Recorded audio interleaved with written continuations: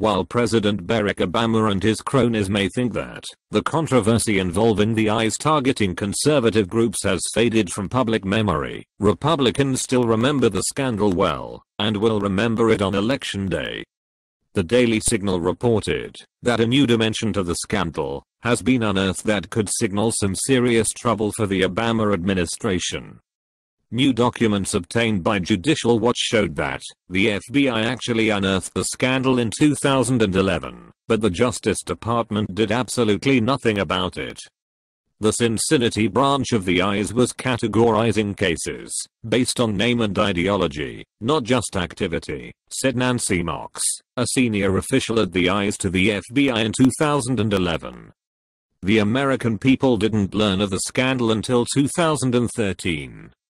The revelation that the government sat on this blatant abuse of authority for over two years has renewed calls to impeach IRS Commissioner John Koskinen and had some questioning whether the FBI has been compromised by Obama.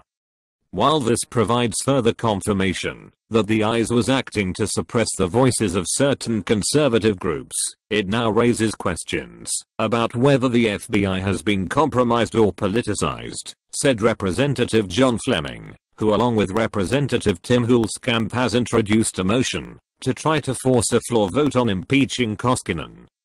It shouldn't surprise any of us that Obama's FBI and Justice Department did nothing about this scandal for two years.